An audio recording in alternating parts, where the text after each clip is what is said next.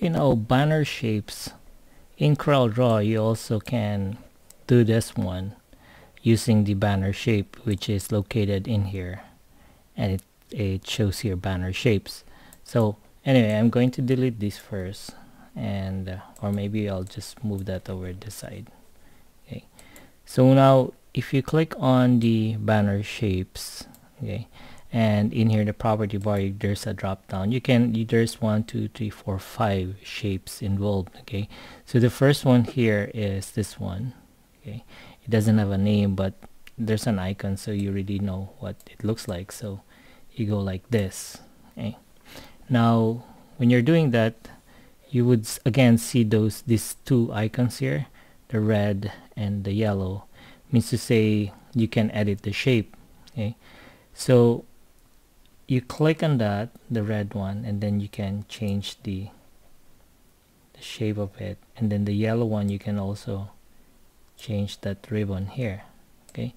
So this ones you can create or you can reshape as same as this one that I did in the discount okay? So we have that okay. and uh, let's say let's do another shape here let's go with the second one which is this one here. So the opposite it's going up. Okay. I notice here in Corel uh, let's say I have this one here and then I'll color it. It has this I'm not sure what's what's wrong but it always shows there's a white thing there. Okay. So what I do I I just go to my smart fill tool and then I'll I'll just fill that with a color so let's say this one I'll make it darker color like that. Okay? So it's best to use the smart fill tool because if you just color it like right right away and there's a white uh, part that's not uh, without a fill. Anyway. Okay so let's go back to the basic shapes. Okay so banner shapes and you also have this one here. Okay so for sale signs you click on that and then you have like that. And there. Unfortunately you can't edit that because there's no I red icon or yellow icon.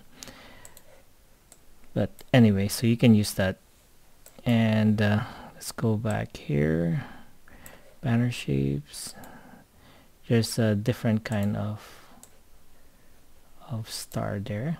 Okay it's another star. And there's another one here.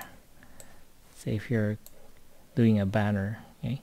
And the red icons there so you can reshape the banner like that okay? Same as this one here